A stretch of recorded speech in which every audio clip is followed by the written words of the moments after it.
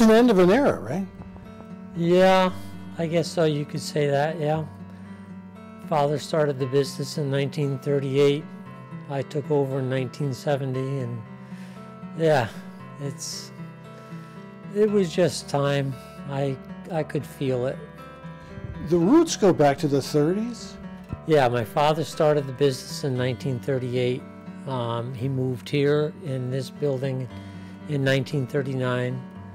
Um, originally, um, my uncle um, would install the car radios because back then the radios did not come installed. So he would drill the fenders, put the speakers in, install the radios, and do all that stuff in the area where I have a studio, teaching studio. And um, he, uh, he eventually took on radios and then what they call white goods, which is the appliances. In 1956, he decided that he wanted to sell Wurlitzer pianos and organs.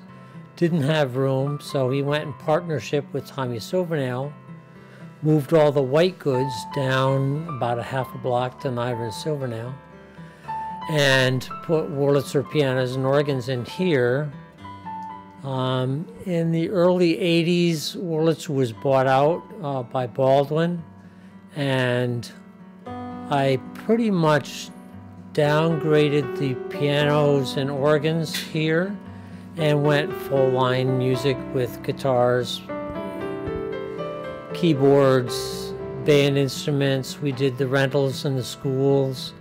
So yeah, it's it's been full line music with me since the early 80s. And your dad did a lot of TVs. Oh yeah, yeah. He did TVs. Um, when when TVs were in their infancy, uh, it was nothing to see a crew from us to be installing a TV and the antenna in one of the local bars so they could see the fights on Friday night or Saturday night, whatever it was.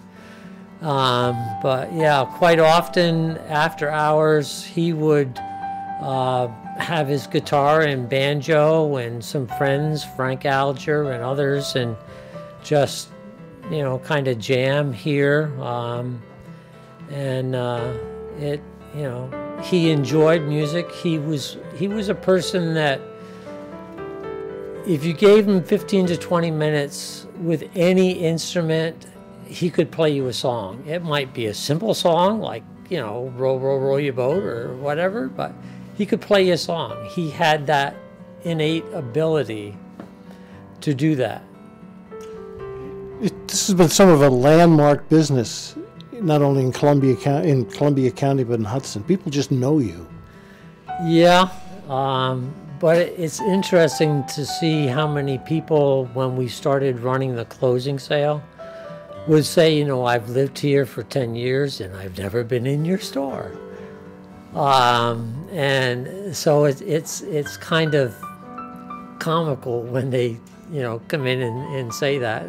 Well, I've been here since 1939.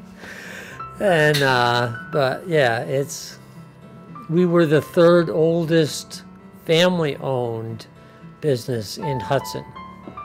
So yeah, it's it'll be kind of a sad day on Saturday when I lock the door for the last time. What are you gonna miss? Um, I'm gonna miss the customers and the interaction. I'm gonna miss some of doing some of the service um, on keyboards and guitars and things that I've done.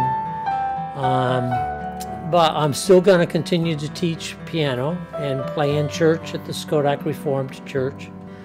Um, so I'll still keep active. I, I live in the house that I grew up in in Claverack uh, and raised our kids. Um, so I'm still going to be in the area. So